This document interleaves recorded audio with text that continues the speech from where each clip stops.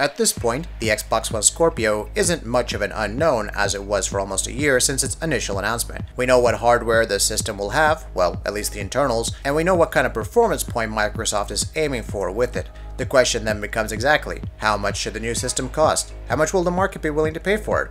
Microsoft has gone ahead and loaded the system to the gills with some high-end hardware. So how hard will it hit the wallet? There are two ways to assess the Scorpio, and the price it's likely to have.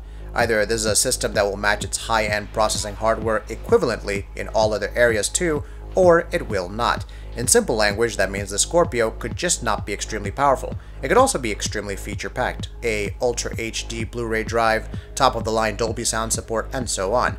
Adding these high-end features on top of already high-end hardware would potentially make the Scorpio more expensive than it otherwise would be. Not adding them will keep the prices down, but much like with the PS4 Pro, seem like baffling omissions. There is evidence to suggest, including in many cases direct confirmations from Microsoft themselves, that the Scorpio will have all these high-end features. The Scorpio is confirmed to be supporting Dolby Vision and HDR10, which are both high-end and pioneering technology standards nowhere close to mass market adoption.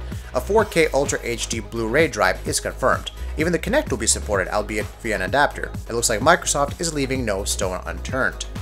Given this combination of high-end hardware and top-of-the-line features, one would expect a high-end price, right?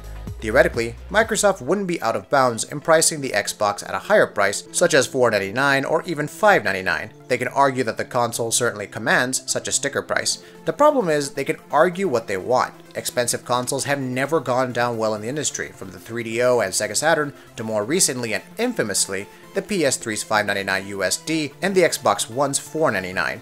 The market simply rejects expensive consoles. In the case of the PS3, you were getting what was at the time a super high-end machine with support for all sorts of peripheral features and media functionality matched by literally nothing else on the market, but the market rejected it soundly. So it doesn't matter if the price of the Xbox One Scorpio is justified, the market simply does not wish to spend money beyond a certain point on gaming consoles, and for now, that point seems to be the psychological barrier of 399. Anything beyond that, and people blanch.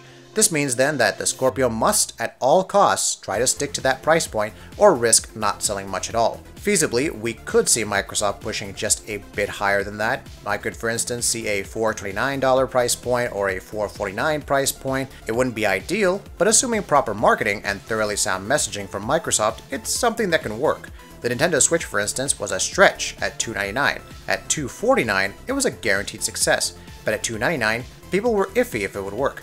Savvy marketing and great messaging from Nintendo has made the console a runaway success. Microsoft could achieve this same effect if they stay within reasonable range of what the upper acceptable limit of the price would be. Of course, the other thing to consider is that Microsoft itself doesn't actually intend nor expect the Xbox Scorpio to actually sell much. Microsoft has said before plenty of times that the system is intended to be a niche mover targeted at the high-end premium segment of the market, the mass market driver for Microsoft is the Xbox One S, so it can get away with pricing the Scorpio however high it wants, because at the very worst, it just makes the existing Xbox One S look like that much better value by comparison. Which brings us to the final point. Does Microsoft consider the PS4 Pro to be direct competition to the Xbox Scorpio? If it does, then there is a possibility that it will, in fact, stick to a $400 price point, especially in anticipation of an impending $50 price drop by Sony in response to the Scorpio. That way, the Scorpio, even if it is a little more expensive, looks like far better value when put next to the Pro. If Microsoft doesn't consider the PS4 Pro to be a factor in their equations and analyses, however, it's unlikely to alter their pricing plans to any sort of extent. The hard part is there are too many variables here to actually come to a reasonable understanding of how much a Scorpio should cost. Previously, we've been able to do similar analyses for the PS4 Pro and the Nintendo Switch, and we arrived within a reasonable ballpark of the final prices, but it's extremely hard in this case due to so many unknowns at play.